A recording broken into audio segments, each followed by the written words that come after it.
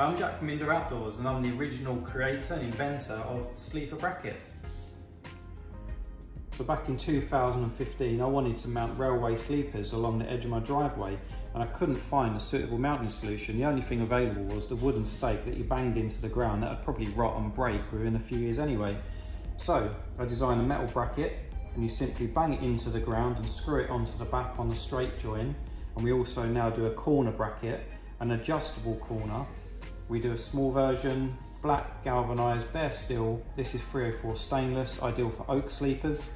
We do a longer version. And we have a range of around 60 different brackets, specially designed just for mounting railway sleepers. And we manufacture them here in the UK. So check out our website to see our full range.